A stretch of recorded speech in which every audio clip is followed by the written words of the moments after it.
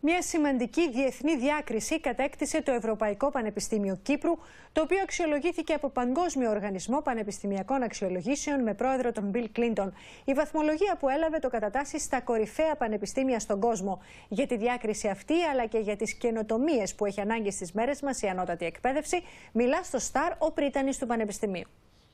Οι σπουδές αποτελούν τη σημαντικότερη απόφαση στη ζωή ενός νέου ανθρώπου. Γι' αυτό και εκατομμύρια υποψήφοι φοιτητές ανά τον κόσμο αναζητούν πανεπιστήμια που έχουν τη σφραγίδα της QS Top Universities, του οργανισμού που αξιολογεί την ποιότητα στην εκπαίδευση όλων των ανώτατων ιδρυμάτων. Η QS Top ε, Universities έκανε την αξιολόγηση του πανεπιστημίου ε, και μας έδωσε πέντε αστέρια σε πολλές ε, περιοχές της δράσης που έχουμε. Αποτελεί ιδιαίτερη τιμή και για την Κύπρο και για την Ελλάδα, αν κανείς λάβει σοβαρά υπόψη πως κανένα άλλο πανεπιστήμιο, και ελληνικό και κυπριακό, δεν έχει τύχει αυτής της διάκρισης. Χιλιάδες νέοι από όλο τον κόσμο αλλά και την Ελλάδα επιλέγουν την Κύπρο για προπτυχιακές και μεταπτυχιακές σπουδές. Ε, Καταρχάς, θα σας πω, έχουμε έξι σχολές. Με κορυφαίες, θα έλεγα, σχολές, τη σχολή της ε, νομικής και βέβαια τη σχολή της ιατρικής. Από εκεί και πέρα έχουμε τη σχολή διοίκησης επιχειρήσεων, τη σχολή τέχνων και επιστημών αγωγής. Έχουμε ένα πρόγραμμα σπουδών ε, των μέσων ενημέρωσης και επικοινωνίας. Σημαντικό όμως για ένα πανεπιστήμιο είναι να επενδύει στην καινοτομία και τις νέες τεχνολογίες. Δεν είναι τυχαίο ότι το Ευρωπαϊκό Πανεπιστήμιο Κύπρου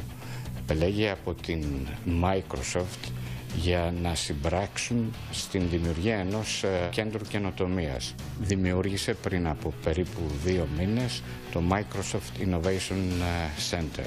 Στο Ευρωπαϊκό Πανεπιστήμιο Κύπρου φοιτούν πάνω από 6.000 φοιτητές, ενώ μέσα από συμπράξεις με εκατοντάδες ανώτατα ιδρύματα και επιχειρηματικούς ομίλους εξασφαλίζεις στους φοιτητές την άμεση σύνδεση με την αγορά εργασίας.